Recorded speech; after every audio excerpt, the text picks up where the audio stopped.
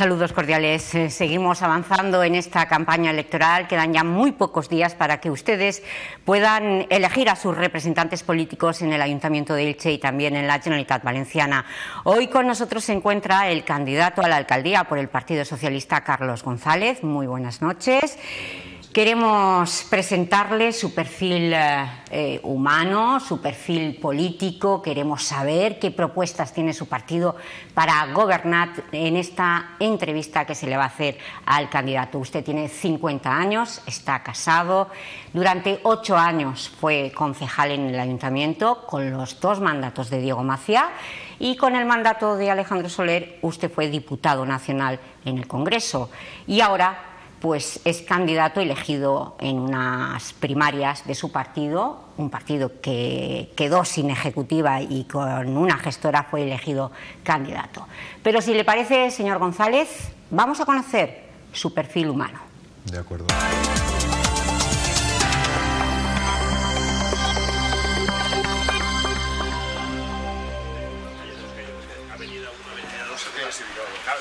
Siempre he madrugado mucho.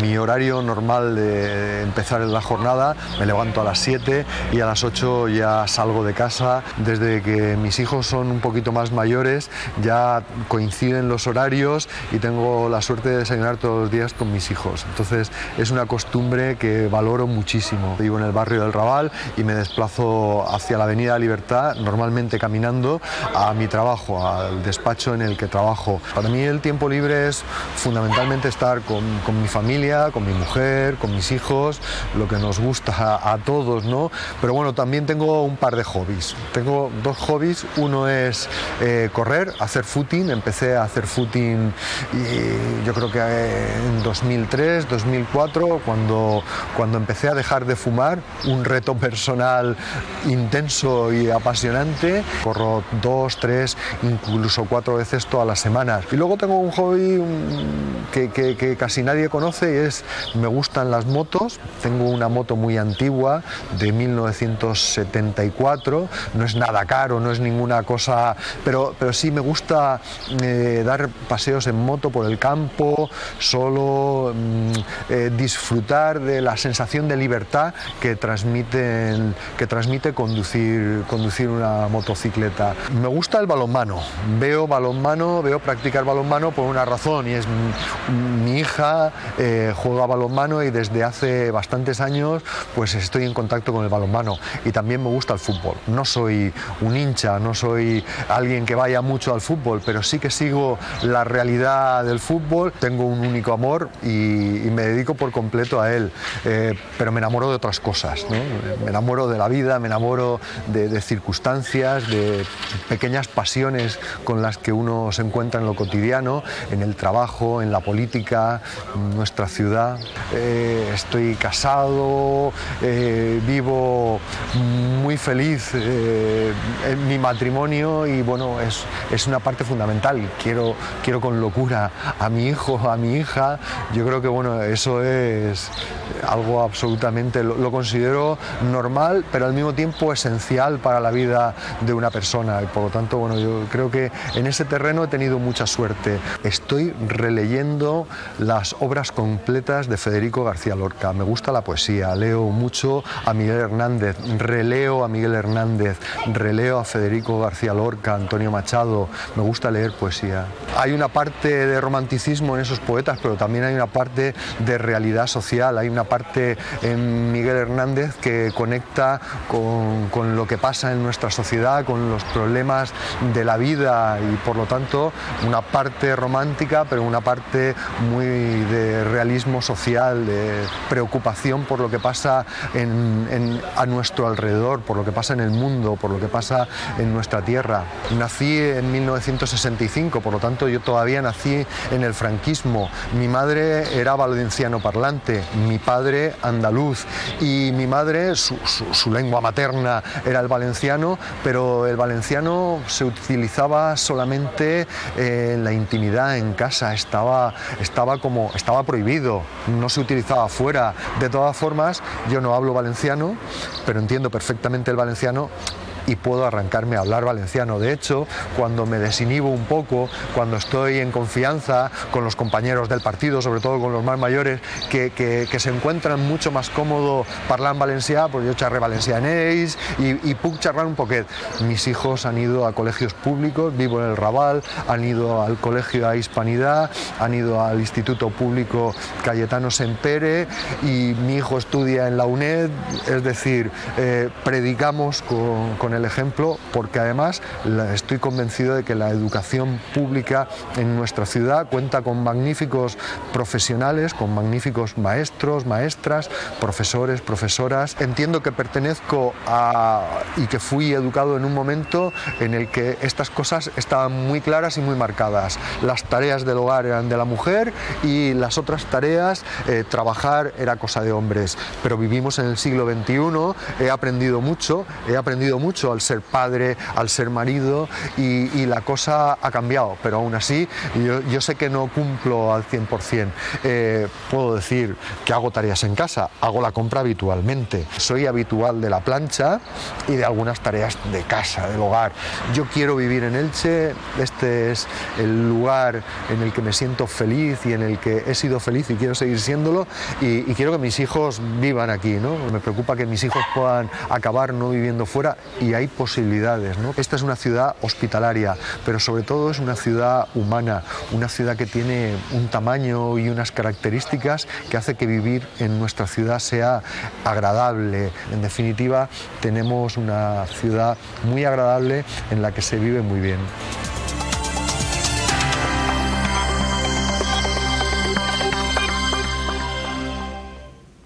Pues hemos conocido un poco más eh, sobre el candidato socialista a la alcaldía, Carlos González. Ya lo han visto ustedes. Es un ciudadano feliz, un vecino del Raval, padre, marido, político con experiencia y abogado que está ejerciendo, pero sobre todo un corredor de fondo.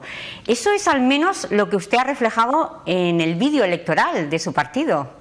Bueno, sí porque lo soy. En realidad empecé a correr, como decía en el vídeo, en 2003 aproximadamente y me convertí eh, poco a poco, muy, de una forma muy paulatina, en un corredor de fondo, un corredor muy modesto, pero un corredor que ya lleva algunas maratones y muchas medias maratones y veo la vida también como una carrera de fondo. Eso es lo que iba a decirle, la carrera de fondo, no solo la vida, sino ¿Puede ver usted así su, camino que ha emprendido hacia la alcaldía? Ha sido una carrera de fondo porque para elegirlo en unas primarias con cuatro candidatos, al final pudo pactar con un candidato que lleva ahora en su lista, José Pérez. La candidatura que usted encabeza considera, después de lo visto, de todo lo que ha pasado, considera que ahora tiene el apoyo de su partido en estas elecciones? Bueno, estoy totalmente convencido de que tengo, tenemos, tengo yo y tienen los miembros de la candidatura, tenemos el apoyo de todos los compañeros y compañeras porque nos une un objetivo y el objetivo es ganar las próximas elecciones del día 24, del domingo 24, para poder gobernar y poder cambiar las cosas en la ciudad. Eso es lo que en realidad al Partido Socialista el objetivo de recuperar la confianza de los ciudadanos para poder transformar la realidad, para poder mejorar la vida de las personas. Luego, eh, el candidato, la candidatura, somos circunstanciales. Podemos tener un mayor grado de adhesión o quizá un grado de adhesión algo menor, pero cuando el Partido Socialista trabaja de cara a un momento, a una cita electoral tan importante como esta, trabaja unido en torno al proyecto político. Y el proyecto político es más que el candidato, es más que la candidatura. Pero el equipo también es importante, ¿no? Importantísimo. Yo creo que tenemos muy buen equipo. ¿eh? Pero le han dejado a usted hacer su equipo, porque su equipo son esos 27 nombres de la lista electoral. ¿Ha tenido margen de libertad para poner a su gente o ha tenido que pactar con tantos sectores dentro del partido? ¿Están todos en esa mm, lista? ¿Han mm. tenido que estar todos? Mi gente son todos los compañeros, todas las compañeras de la agrupación local del Partido Socialista hemos hecho un esfuerzo por hacer una gran renovación en la lista. Entendíamos que los ilicitanos nos estaban pidiendo un cambio importante, una renovación intensa, porque el Partido Socialista viene de estar en la oposición y se prepara para recuperar la confianza y volver al gobierno. Y nos estaban pidiendo un cambio importante.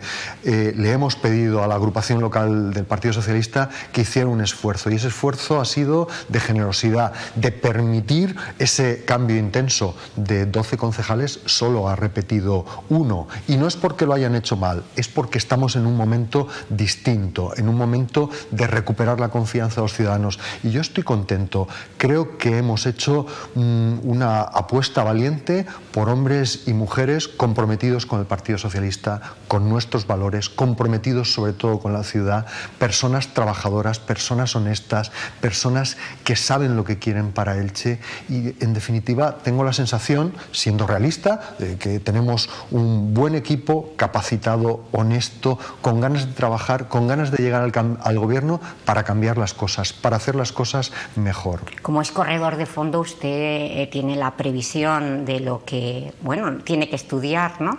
El futuro. Por eso yo le pregunto, si gana las elecciones, ¿se presentaría a secretario general del Partido Socialista? ¿Usted dirigiría el partido en Elche?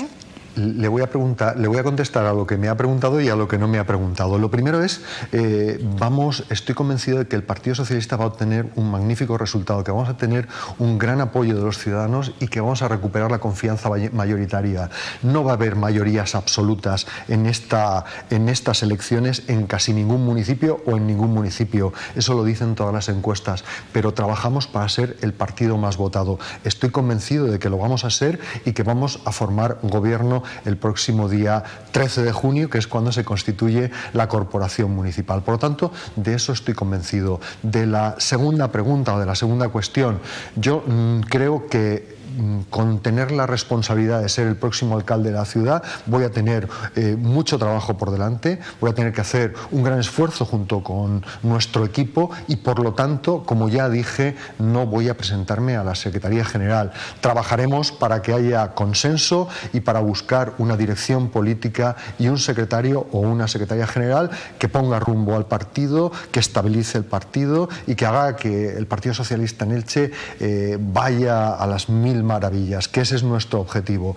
Pero ahora trabajamos de cara a las elecciones municipales y con la finalidad de, eso, de, ganarlas, de recuperar la confianza. Pues ahora conozcamos las propuestas que tiene usted de gobierno, que tiene su partido y con las que se presenta a estas elecciones. En el supuesto de conseguir el gobierno, ¿qué gestión haría usted?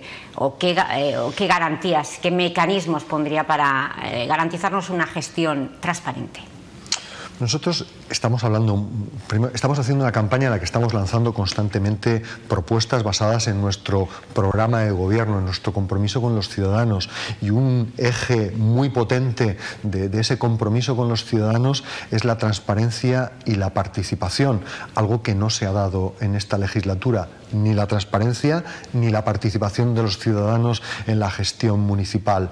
Creemos que es un eje fundamental para los próximos cuatro años para un gobierno socialista y en ese sentido hemos planteado abiertamente y nos hemos comprometido a impulsar un reglamento de transparencia y participación en el que se regulen los elementos relativos a ambas a ambas circunstancias, a ambos elementos. Y eso al final significa, dicho con una frase clara, que los ciudadanos tienen derecho a conocer en qué se gasta cada euro de sus impuestos. Y eso es lo que hay que trasladar, eso es al final eh, la máxima expresión de transparencia, saber en qué, en qué se gasta cada euro de los impuestos de los ciudadanos, saber cuál es la situación patrimonial de los representantes de los ciudadanos, de los cargos electos, de los asesores, cuántos asesores, qué ingresos, eh, qué retribuciones tienen. En definitiva, mm, queremos mm, lo que queremos hacer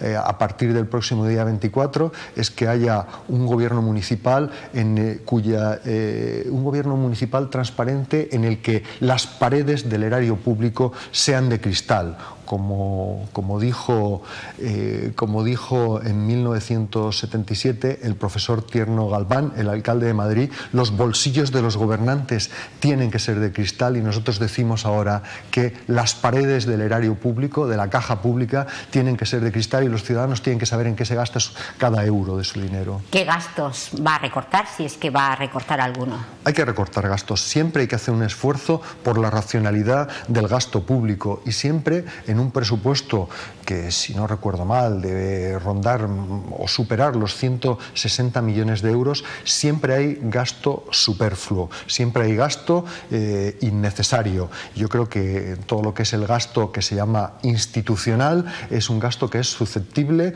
de ser reducido y de ser eh, llevado a la mínima expresión posible. Esa es una vía de ahorro importante en la que creo que se tiene que trabajar porque, según nos consta, en los últimos años se ha disparado. En estos últimos años hay un gasto suntuario, un gasto innecesario, importante, que consideramos necesario recortar. ¿Los cargos de confianza son para usted gasto superfluo? ¿Usted es partidario de incorporar funcionarios de empleo, asesores? ¿Va a necesitarlos en caso de gobernar? Mire, yo creo que es necesario que haya funcionarios de empleo, que haya personal eventual que cesa cuando cesa el gobierno municipal, pero que tiene que ser en un número razonable y razonado, no en un número eh, disparatado o en un número exagerado. ¿Cuál es el número razonable? Eh, ahora mismo no sabría precisarlo, pero en cualquier caso hay que ajustarlo y hay que justificarlo y hay que explicar por qué tienen que tener sentido, tienen que tener utilidad, no tienen que estar por estar, sino que tienen que estar para cumplir una función. Si se da eso, si se da esa circunstancia, que sean de utilidad social, que sean de utilidad para la gestión del gobierno municipal, tienen sentido. Si son simplemente por estar, por mm, eh, pagar eh, la confianza o pagar algún tipo de favor, no tiene sentido. Por lo tanto, los cargos tienen que ser útiles, los asesores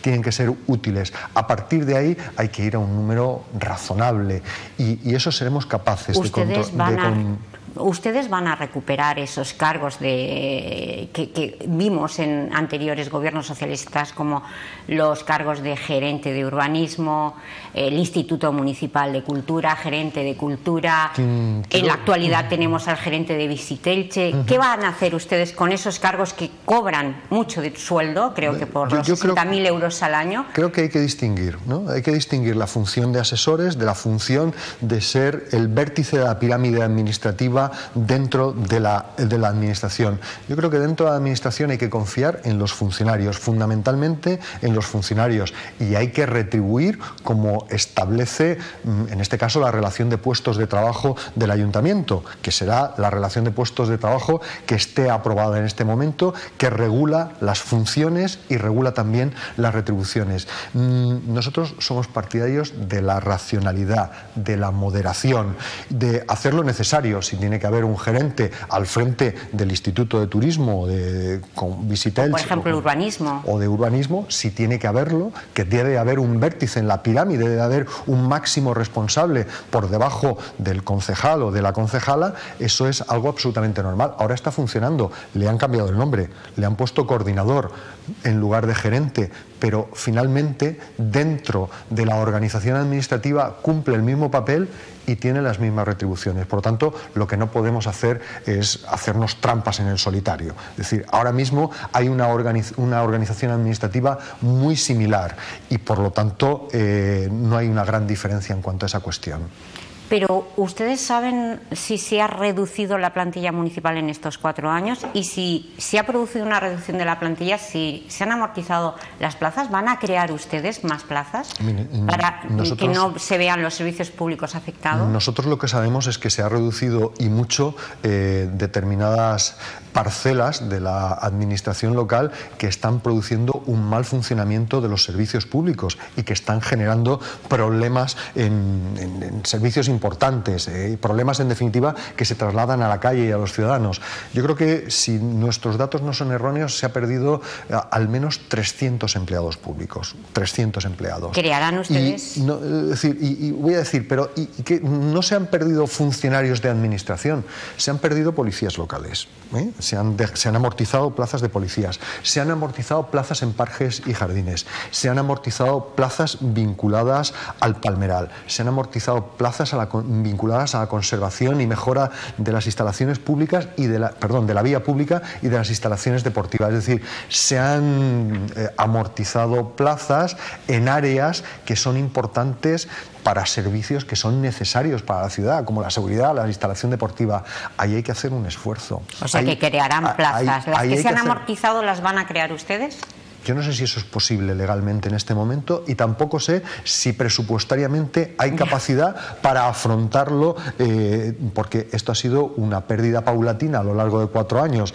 Por lo tanto, habrá que contemplar las cosas con perspectiva. Pero lo que sí que le puedo decir es que un gobierno del Partido Socialista fortalecerá los servicios públicos. Y fortalecer los servicios públicos es que si tenemos, queremos tener un palmeral eh, eh, cuyo futuro esté garantizado, un palmeral en condiciones, un palmeral visitable, por ejemplo, tendremos que invertir en palmeral. Invertir en palmeral es tener palmereros, es tener empleados públicos que se dediquen a su cuidado. Igual ocurre con la seguridad. Entonces, evidentemente, eso tiene un coste económico, pero ese coste económico, si es algo necesario y útil para la ciudad, hay que afrontarlo. Si no se hace, nos perjudicamos, que es lo que está pasando ahora. Este es el argumento principal por el cual usted, ya lo ha dicho en varias ocasiones, aquí mismo no va a bajar el IBI. El PSOE no propone en su programa electoral rebajar el IBI. cuando ustedes han criticado la subida del señor Rajoy. Mire, nosotros lo que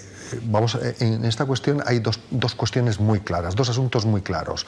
Por una parte, quienes han subido los impuestos a lo largo de cuatro años de una forma muy intensa no pueden prometer ahora que los van a bajar, porque es una contradicción en sus propios términos. Nosotros lo que planteamos es que hay una larga lista de necesidades sociales. Ahora estábamos haciendo relación, eh, estábamos haciendo mención a una cuestión relativa a los empleados municipales, a parcelas que se han debilitado mucho pero a medida que uno habla con colectivos, te entrevistas con colectivos sociales, con asociaciones de vecinos, con empresarios, con sindicatos, a medida que percibes cuál es el pulso de la sociedad y cuál es la demanda que hay entre los ilicitanos, uno advierte, el Partido Socialista, nosotros advertimos que hay una larga lista de necesidades sociales que tienen que ser atendidas. Si se bajan impuestos, hay que bajar servicios, hay que recortar servicios. Por lo tanto, nosotros planteamos, vamos a contener la presión fiscal, vamos a contener durante los cuatro años la presión fiscal,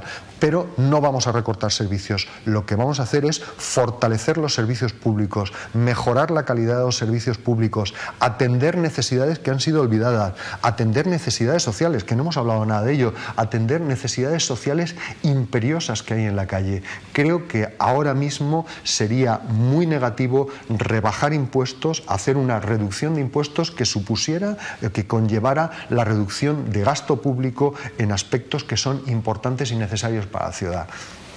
¿Qué harían ustedes en caso de gobernar con el mercado central? Hemos, ya hemos publicado que esta semana se mm. trasladan los que han aceptado al mercado provisional y creo que el jueves está prevista la inauguración.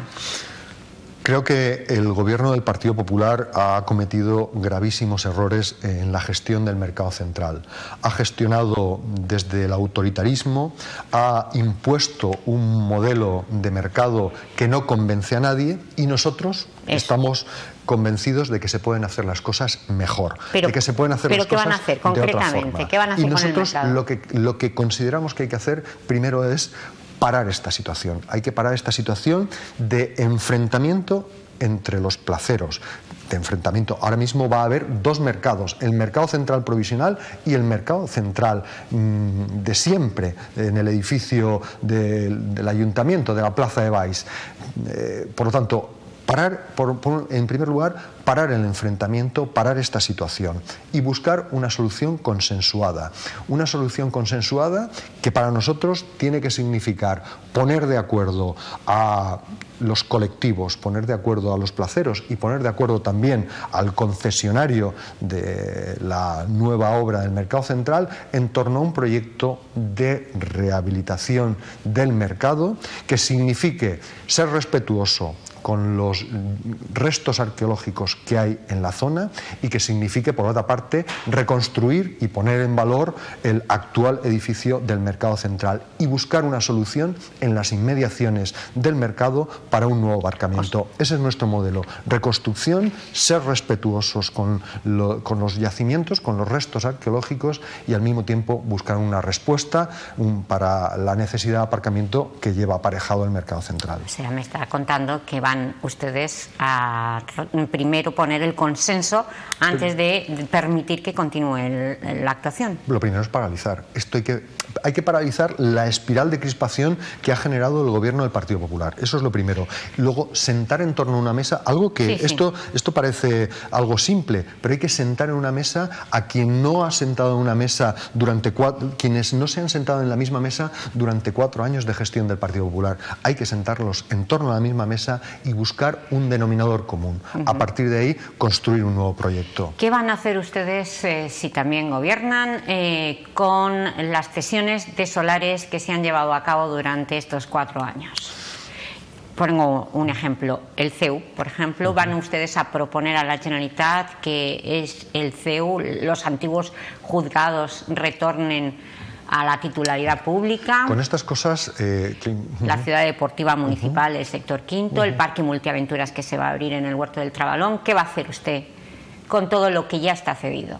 Nosotros hemos criticado la política de cesión de suelo público que ha hecho Mercedes Alonso. Si nosotros hubiéramos gobernado, no hubiéramos actuado igual pero ahora nos encontramos con una realidad concreta, nos encontramos con inversores, eh, con empresas que han realizado inversiones que ya están ahí. El Parque Multiaventura, el CEU San Pablo ha rehabilitado, ha invertido en la rehabilitación de los antiguos juzgados y eso es una realidad inevitable. Por lo tanto, claro, sería irresponsable y contrario al principio de seguridad jurídica que nosotros eh, dijéramos que vamos a acabar con esas concesiones que están realizadas. Lo que hay que estudiar es si, eh, si los cánones, si el precio que se ha puesto por esas concesiones es un precio adecuado, es un precio justo, es un precio que refleja lo que la administración local tiene que recuperar por el valor eh, que ha cedido a esas empresas. Creo que ese es el único margen de maniobra que puede haber.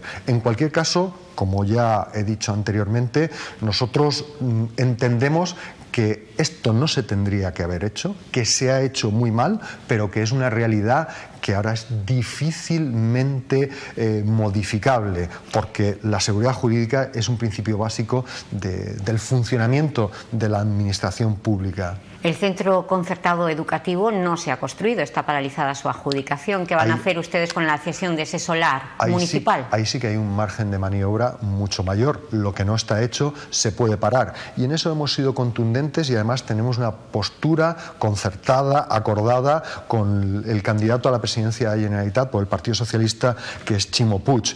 No habrá CIS, no habrá instituto privado en Elche si hay un gobierno del Partido Socialista en la ciudad. ¿Y en la gestión del Hospital Vinalopó será pública?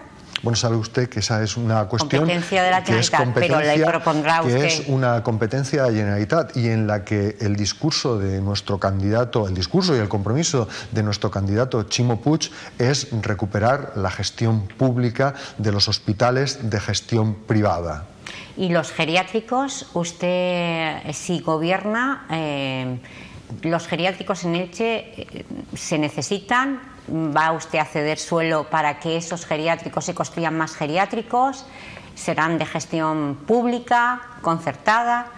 Cuando gobernaba el Partido Socialista en la Generalitat Valenciana se hacían geriátricos, centros para las personas mayores que eran totalmente de gestión pública. Cuando ha habido gobiernos del PP se han hecho centros en nuestra ciudad que son de gestión privada. Esa es una realidad que está ahí, no, no ha lugar a cuestionarla. Si hay gobierno socialista en la Generalitat, que nosotros esperamos que sí, y hay que hacer centros de estas características, desearemos que sean centros públicos, porque nosotros apostamos por lo público, por la educación pública, por la sanidad pública, por los servicios públicos. Por tanto, ese es un principio básico, público y de calidad, que son dos conceptos que están íntimamente ligados. Eh, eso, forma parte de nuestra forma de entender la respuesta a las necesidades sociales, servicios públicos y de calidad. Usted hoy ha hablado de aparcamientos también eh, públicos y de incrementar eh, aparcamientos en batería en distintos puntos de la ciudad. ¿Dónde piensan los socialistas que hace falta más aparcamiento? Bueno, el problema de aparcamiento es un problema generalizado en el conjunto de los barrios. Quizá en las zonas de expansión, que ya se ha producido mm, o, son producto del Plan General del 98 y que son eh, eh, las construcciones llevan aparejados eh, aparcamientos subterráneos, quizá ahí hay una menor presión y hay una menor necesidad. Pero en la ciudad previa al desarrollo urbanístico de finales del siglo XX hay necesidad en prácticamente todos los barrios. Eh, yo tengo en mente algunas zonas. Carrus Este es una zona en la que es necesario buscar espacio para construir aparcamientos. El eje de Vicente Blasco Ibáñez, por ejemplo, es una zona también en la que hay una necesidad imperiosa de aumentar el número de aparcamientos. Hay que buscar calles que reúnan las condiciones para realizar ese tipo de actuaciones. El Raval también, eh, sin ser una zona de gran densidad en número de vecinos, sí es una zona con poco espacio para el aparcamiento y que también tiene problemas. Por lo tanto, yo creo que hay que tener una visión global, hay que intentar dar respuesta a, esa demanda que existe en, en las zonas donde más densas, en las zonas donde viven más personas y donde además hay más vehículos. Un problema que preocupa mucho es el empleo en el Che. ¿Ustedes qué medidas recogen en su programa electoral para fomentar el empleo de calidad? El empleo es la principal necesidad y al mismo tiempo es la principal preocupación mm, de los españoles y, también de los ilicitanos. Nosotros hemos planteado alguna medida concreta eh, que, que incide en esa dirección. Algunas son directas y otras son medidas que poco a poco van a ir dando respuesta a esa necesidad. Por una parte hemos planteado, por ejemplo, la necesidad de impulsar un plan de choque eh, para favorecer la inserción laboral de los parados mayores de 45 años de larga duración, del paro crónico, eh, personas que, ven que no tienen expectativas de encontrar trabajo y que pensamos que la administración pública tiene que dar una respuesta, por lo menos al menos un contrato de seis meses en la administración local para realizar tareas de interés y utilidad general. Ese es un plan de choque con el que pensamos que se pueden contratar alrededor de mil personas cada año que supondría contratar 4.000 personas a lo largo de los cuatro años. Es algo que queremos hacer en cooperación, en colaboración con el Gobierno de España, porque Pedro Sánchez está planteando un plan que se llama Plan Garantía para mayores de 45 años que incide, en esa dirección. Por lo tanto, eso pensando en, en ese paro crónico, en esas personas que piensan que probablemente el mercado de trabajo no les va a dar una oportunidad en este momento y que la Administración Pública tiene la obligación, consideramos que tiene la obligación de dar respuesta ese problema. Pero por otra parte hay que trabajar no desde lo coyuntural, sino desde lo estructural. Y en ese sentido hemos planteado dos iniciativas importantes. Por una, por una parte, eh, generar suelo industrial. Es absolutamente necesario ser capaces de planificar y desarrollar paulatinamente el suelo industrial que necesita nuestra ciudad para los próximos 10 o 15 años. Hoy mismo hay empresas que están desarrollando o pensando en desarrollar sus proyectos de inversión en otros municipios. No podemos permitirnos la fuga de empresas. Eso significa desarrollar suelo industrial ¿dónde? ¿En el parque empresarial, en el Porta de Elche, junto al Camino de Castilla? ¿Dónde? Nuestro planteamiento, lo, Nuestro planteamiento es eh, construir o impulsar la construcción, la urbanización de un nuevo parque industrial en torno a la autovía del Camino de Castilla, que probablemente sea una de las mejores ubicaciones posibles para eh, un desarrollo de suelo industrial. Estamos hablando de proximidad al aeropuerto, de proximidad al puerto, de proximidad a la autovía de Madrid y de proximidad también a la autopista eh, de Valencia. Por lo tanto, una ubicación inmejorable. además, un espacio donde el ayuntamiento, si yo no me equivoco, ya tiene suelo, ya dispone de suelo. Y hay que pensar en desarrollar paulatinamente ese suelo. Estamos hablando del proyecto Puerto de Elche, que es antiguo proyecto socialista. Proyecto paralizado incomprensiblemente por el gobierno de la Generalitat, yo creo que por un capricho partidista absolutamente injustificado que ha sido negativo para nuestra ciudad. Y como le decía, somos conocedores de que hay empresarios de Elche que están buscando suelo en otros municipios porque hoy no encuentran la respuesta a la demanda de suelo que ellos tienen. Por lo tanto, una iniciativa fundamental para crear empleo, desarrollo del suelo industrial. Segunda, la reactivación del sector más sostenible de la construcción, que es la rehabilitación de viviendas. Hay que impulsar, queremos impulsar un plan de rehabilitación de viviendas con la Generalitat Valenciana que permita eh, que los fontaneros, que los electricistas, que los carpinteros puedan tener eh, su salida, su oportunidad laboral. Es otra de las iniciativas fundamentales. En la recta final de esta entrevista también me gustaría hablar de cultura porque este lunes eh, hemos celebrado el aniversario, lo estamos haciendo con determinadas actividades conmemorativas, el aniversario del Misteri como patrimonio oral mm, e intangible de la humanidad. ¿Qué proponen ustedes para el Misteri? ¿Qué le hace falta? ¿Garantizar una financiación estable o cambiar ley? Nosotros hemos planteado, yo creo que con las leyes hay que intentar cambiarlas lo menos posible, salvo que sea muy necesario.